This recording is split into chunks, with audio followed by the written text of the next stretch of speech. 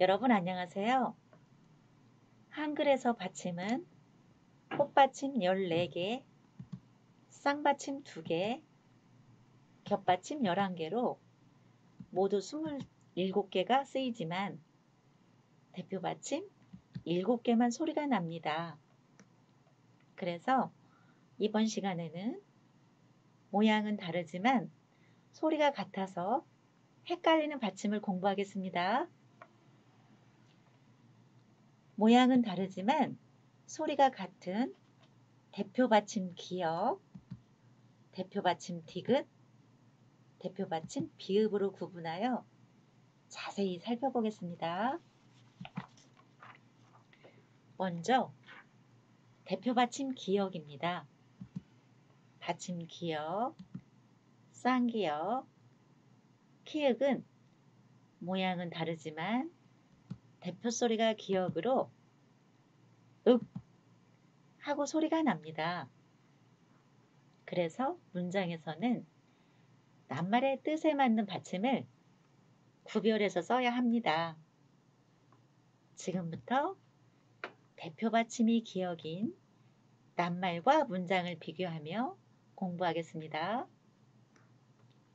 낱말, 낙지, 낚시, 메밀묵, 묵다는 각각 기역, 쌍기역 받침을 쓰지만 읽을 때는 윽 소리가 납니다. 그래서 낙지, 낚시, 메밀묵, 묵다로 읽습니다. 낱말, 들녘, 새벽녘, 부엌은 키읔 받침을 쓰지만 읽을 때는 윽 소리가 납니다. 그래서 들녘, 새벽녘, 부엌으로 읽습니다. 문장으로 자세히 살펴보겠습니다. 문장 낙지는 소도 벌떡 일어나게 한다 해서 낙지의 낙은 기역 받침을 쓰고 낙 하고 읽습니다. 문장 아버지는 낚시를 좋아하신다 해서 낚시의 낙은 쌍기역 받침을 쓰지만 낙 하고 읽습니다. 문장 메밀묵으로 묵밥을 만들었다 해서 메밀묵의 묵은 기역 받침을 쓰고 묵 하고 읽습니다. 문장 긴 머리를 끈으로 묶다 해서 묶다의 묵은 쌍기역 받침을 쓰지만 묵 하고 읽습니다. 문장 새벽녘에 간신히 잠이 들었다 해서 새벽녘의 녘은 키읔 받침을 쓰고 녘 하고 읽습니다.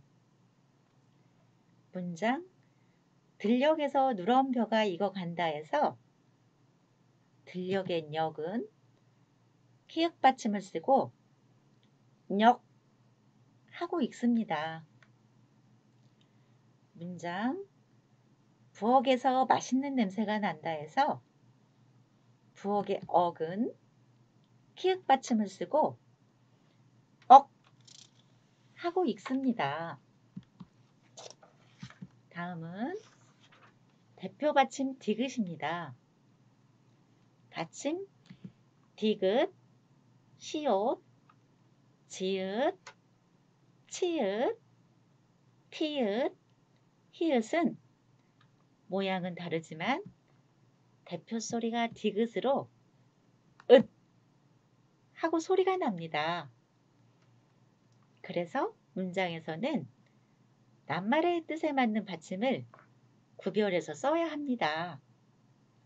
지금부터 대표 받침이 디귿인 낱말과 문장을 비교하며 공부하겠습니다.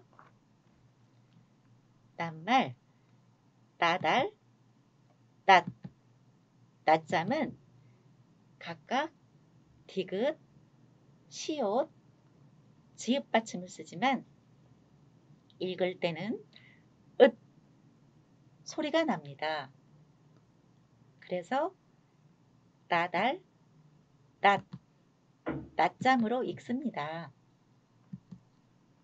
낱말, 낮, 낱말, 나타는 각각 치읓, 티읕, 히읗 받침을 쓰지만 읽을 때는 으 소리가 납니다. 그래서 낮, 낱말, 나타로 읽습니다. 문장으로 자세히 살펴보겠습니다. 문장 낫으로 별을 배다해서 낫은 시옷 받침을 쓰고 낫 하고 읽습니다. 문장 논에 나달이 떨어져 있다 해서 나달의 낫은 디귿 받침을 쓰고 낫 하고 읽습니다. 문장 아기가 낯가림이 심하다 해서 낯가림의 낯은 치읓 받침을 쓰고 낯 하고 읽습니다. 문장 낱말 카드로 공부합니다 해서 낱말에 낯은 티읕 받침을 쓰고 낫 하고 읽습니다. 문장 피곤해서 낮잠을 잤다 해서 낮잠의 낮은 지읒 받침을 쓰고 낮 하고 읽습니다. 문장 얼룩말이 새끼를 낳다 해서 나타의 낫은 히읗 받침을 쓰고 낫 하고 읽습니다. 마지막으로 대표 받침 비읍입니다. 받침, 비읍, 피읍은 모양은 다르지만 대표 소리가 비읍으로 읍 하고 소리가 납니다. 그래서 문장에서는 낱말의 뜻에 맞는 받침을 구별해서 써야 합니다. 지금부터 대표 받침이 비읍인 낱말과 문장을 비교하며 공부하겠습니다. 낱말, 혈압, 우리 집, 앞치마, 집시는 각각 비읍, 피읍 받침을 쓰지만 읽을 때는 읍 소리가 납니다. 그래서 혈압, 우리 집, 앞치마, 집신으로 읽습니다. 문장으로 자세히 살펴보겠습니다. 문장 혈압약을 매일 먹는다 해서 혈압의 압은 비읍 받침을 쓰고 압 하고 읽습니다. 문장 우리 집은 한옥이다 해서 우리 집의 집은 비읍 받침을 쓰고 집 하고 읽습니다. 문장 앞자리부터 앉으세요 에서 앞은 피읍 받침을 쓰고 앞 하고 읽습니다. 문장 집신도 짝이 있다 해서 집신의 집은 피읍 받침을 쓰고 집 하고 읽습니다. 지금까지 소리는 같지만 뜻에 따라 받침이 모양이 달라지는 낱말을 공부했습니다. 헷갈리는 낱말을 문장과 잘 연결하여 반복학습하시기 바랍니다. 수고하셨습니다.